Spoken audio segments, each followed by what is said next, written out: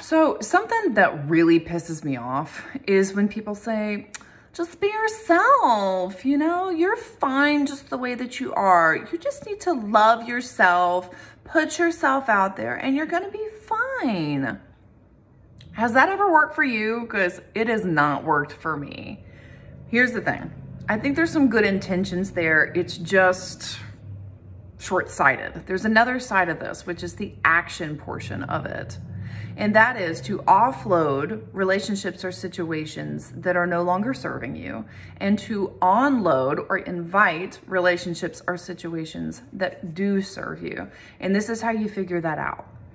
So the relationships or situations in your life actually may be pretty positive. They could be supportive, but if they are not in support of your voice, your wants, if they're not in support of allowing you to have your own voice, it may be worth cutting it off.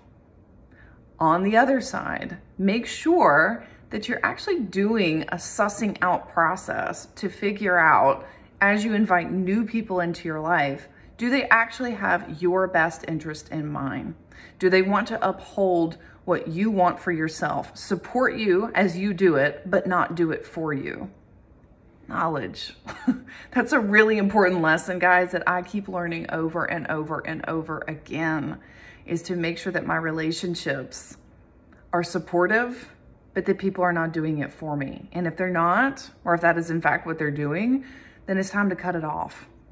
So take that and pair it together with, you're fine just the way you are. See how that goes. Tell me in the comments, what do you think?